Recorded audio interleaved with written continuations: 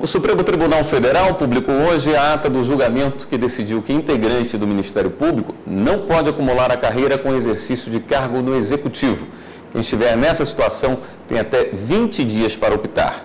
Na semana passada, 10 ministros do STF declararam-se inconstitucional a ocupação por procurador ou promotor de um cargo público no Executivo, exceto para exercer funções no Ministério de Magistério.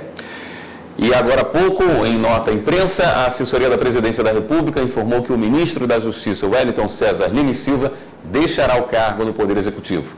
Segundo a nota, ele já apresentou pedido de demissão e o novo ministro da Justiça será o subprocurador-geral da República, Eugênio José Guilherme Aragão.